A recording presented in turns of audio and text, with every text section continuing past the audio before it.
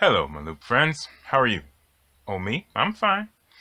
Uh, I have been watching musicians play loop music into various different types of loop pedals for many, many years, almost a decade now. And I love the difference. I love watching the different gear and, you know, trying to figure out why do people choose the different things that they use. And I remember I was watching the many, many dozens of looping videos that I that I routinely watch, and all of a sudden there was a video by Rachel Claudio, and it was like nothing that I had seen before. I tried uh, try as best as I could. I was trying to figure out what loop pedal or you know device is she using, and I couldn't make heads or tails of it. There was just this big pad controller, which I didn't know what a pad controller was back then, but it was just big, it was just a big, huge bunch of buttons, and she was just doing something and looping, but it was like better than looping that I usually see, and I kept trying to figure out like what's the answer, what is she doing, what is she using, and the only word I kept getting back was Ableton, and I was, well, what is, what is that? Never really could, you know, fully comprehend what was going on there. I just had to plug it into the back of my brain and say that that's something that apparently people who have the money to do whatever that is can do, and that's cool.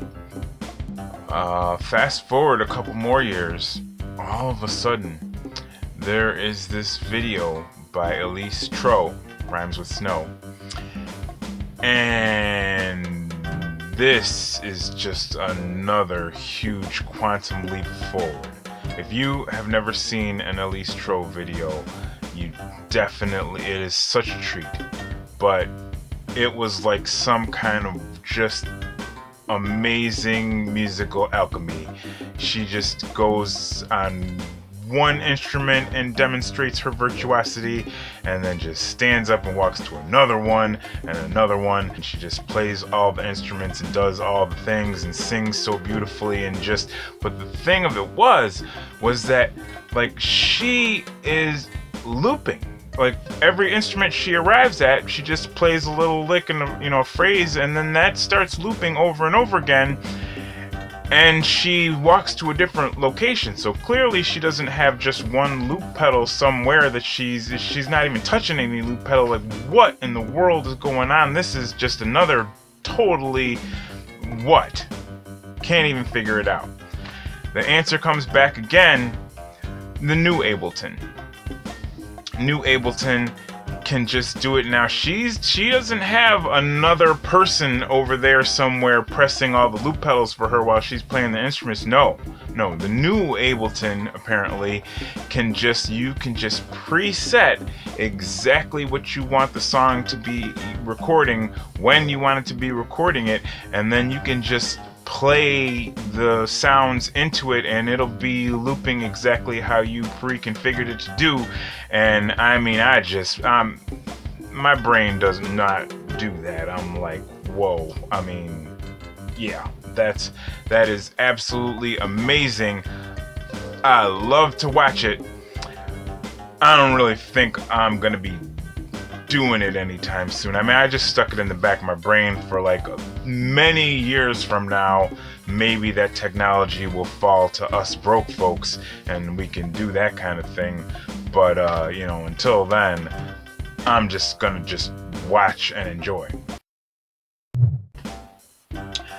Fast forward to the year 2022, actually tail end of 2021, Loopy Pro came out and uh, quite affordably put that technology into all of our hands.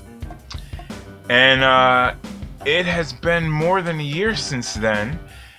And uh, you can just use Loopy Pro to pre configure how you want it to loop and then just play sounds into it and just have it do what you pre-set it up to do.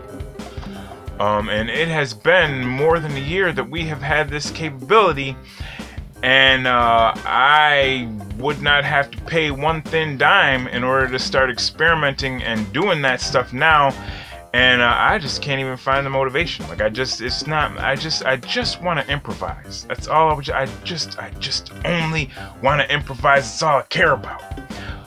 But uh, a lot of you uh, definitely do, and definitely are interested in how do you set this up and how do you do it.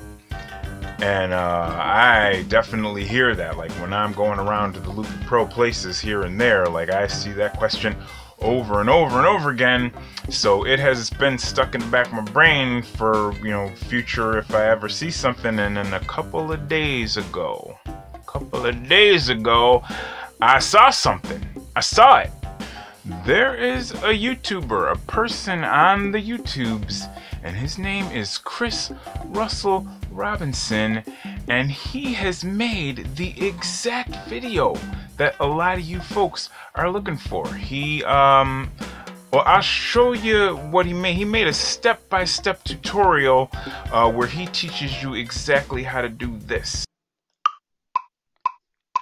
Lollipop, lollipop, oh lolly, lolly, lolly, lollipop, lollipop, oh lolly, lolly, lolly, lollipop, lollipop, oh lolly, lolly, lolly, lollipop.